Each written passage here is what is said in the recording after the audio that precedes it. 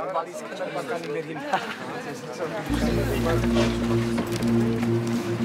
ein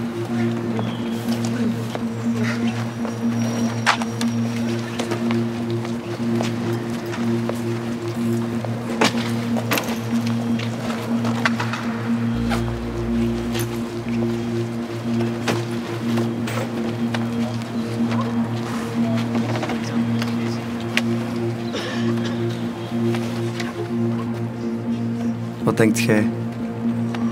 Kunt je echt voor het geluk geboren zijn? Of is alles een gok?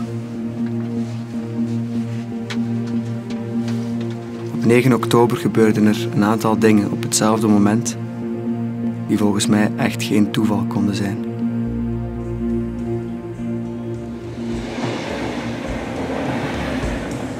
Brussel. Mijn broer Alex en ik, Vincent, ons weer aan het vervelen.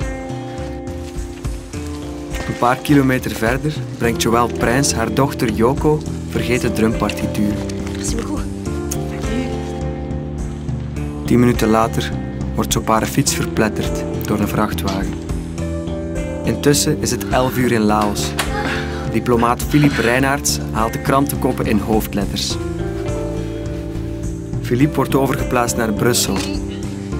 Met zijn volgzame vrouw, twee dochters en introverte zoon Thomas, die troost zocht in zijn gitaar.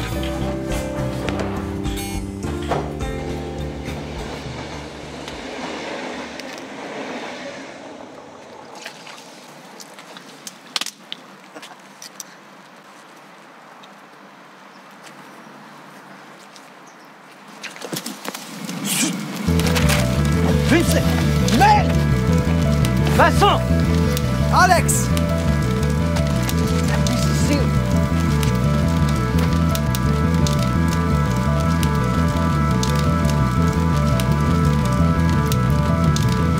Het stond allemaal in de weekendkrant.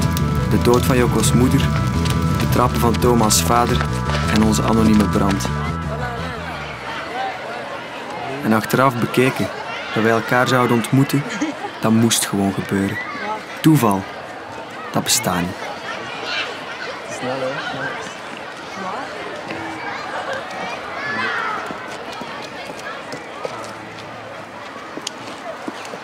Van wie is die? Peggy, lerares Frans. Strafstudie, hè? Echt moeilijk doet ze niet. En op haar straffen vonden we wel altijd iets.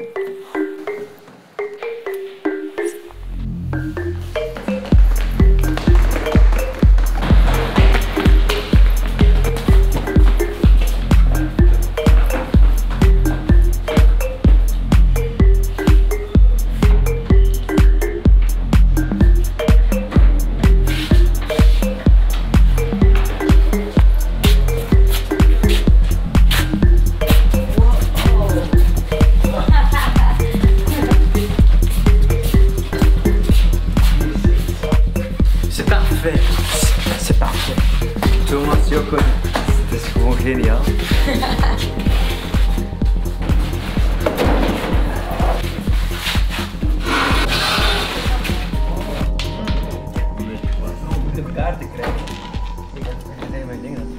Daar begonnen we te kaarten. Voor muntjes, snoepjes, koekjes, M&M's. Full house, allemaal voor mij Sowieso Toen konden we nog stoppen. Toen konden we nog slapen en was de wereld helder.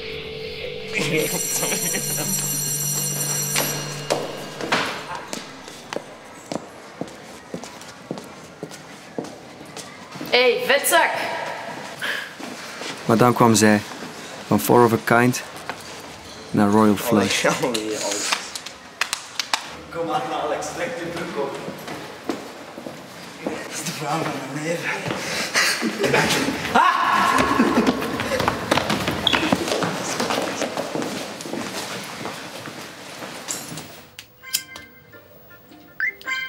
Sasha, 16 jaar. Moeder met evenveel verslavingen als mannen.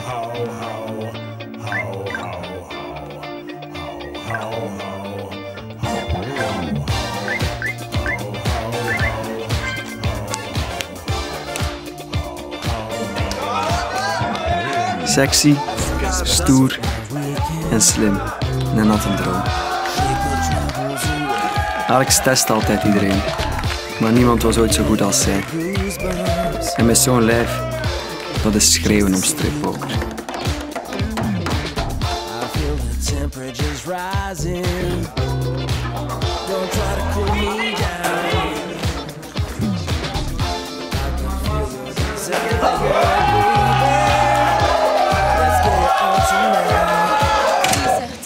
Chaud, il suffirait d'ouvrir les fenêtres, non Ik wil u er straks nog over spreken. Encore à toi